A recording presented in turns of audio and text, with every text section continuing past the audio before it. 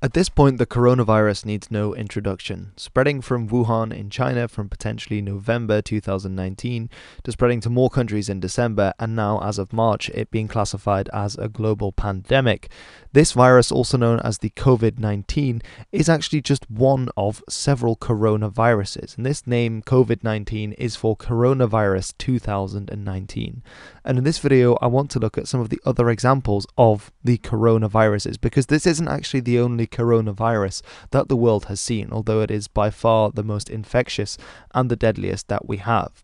Now, the name coronavirus, and you thought, how can I get etymology into a video about the coronavirus, actually comes from the word corona, which in Latin means crown. It also means crown in Spanish and potentially Portuguese as well. Now, the reason it's called a coronavirus or a crown virus is because of these glycoproteins. They're like pillars that stick out from the virions, and the virions are what infects the cells of the host. So that's why it's called the crown, because looking around the outside, it looks like a halo or a crown. Scientists have actually known about coronaviruses since the 1960s, although it's thought that their most common recent ancestor actually is dates back right to the 8000 BC. So a very long time ago, 10,000 years ago now. And you know, to put this into perspective, because it's a very random date in the past that not many people can link to an event that happened. It's about the same time that agriculture started to become the, the dominant form of life in South America. That's how long ago this was. Now, it's thought that coronaviruses may have originated in bats, and they started off in bats, but then the bats were able to pass on the coronavirus to animals like birds. And this is often where we find viruses that become deadly to people, is that they start off in bats and then move on to birds and other animals and eventually humans. We saw it with Ebola, for example, in Africa when that happened, as well as things like bird flu. Now, what happens is that a species will become infected by a virus, and a virus is a, a sort of parasite that, that lives off the host. And in this case, it's in bats. So, bats, they obviously, some will die from the virus, but others will get the virus and then they will get better. And at this point, they will have the antibodies and they spread this around the bat population. And at some point, all the bats will have had it and they will have passed on. So, they'll become immune to the disease. And what we call this in animals is that this becomes a reservoir of a disease. So, the disease disease is present in these animals. The virus is present, but it's obviously not having an effect on them because they're all immune to it, though it continues to live on. Now, what can happen, however, is that one bat species can pass on this disease to another bat species due to contact between them. And then, of course, that bat species has the same process of the virus that's going on.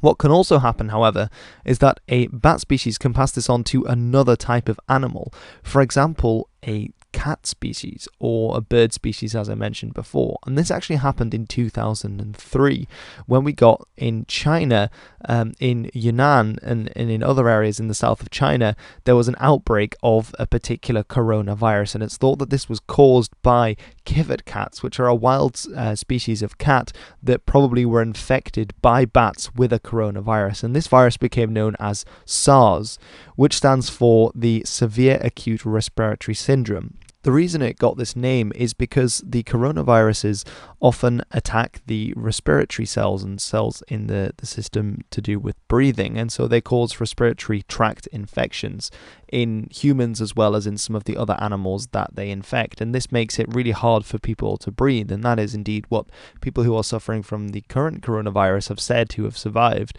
is that it's just incredibly hard to breathe, like breathing through a paper bag with one lung. And that's because these these viruses are specifically attacking the lungs and the operatives that we need to breathe. And that's why it's incredibly deadly for people who are smokers, for example, or people who have difficulty breathing. So the SARS virus actually ended up infecting a lot of people in Asia and other countries as well, but most were in China, around 5,000, um, of whom 349 died, as well as Hong Kong and Taiwan.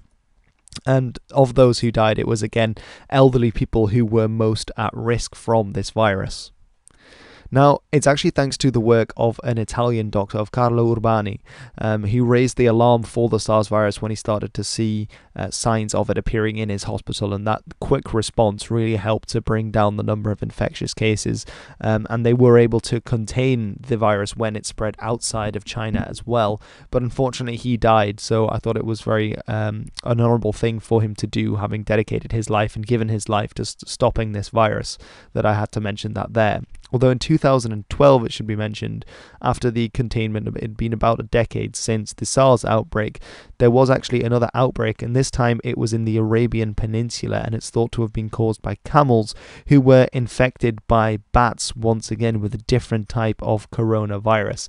And the camels acted as a reservoir, but then contact between humans and camels in the Arabian Peninsula led to the virus adapting and then jumping over to humans as well and they actually were able to trace these bats to, I believe, Egyptian tomb bats that uh, acted as a reservoir for this coronavirus. And this one became known as MERS, uh, which is the Middle East Respiratory Syndrome. So, again, affecting the same respiratory tract and causing respiratory tract infections as the SARS virus and as the current virus is doing as well.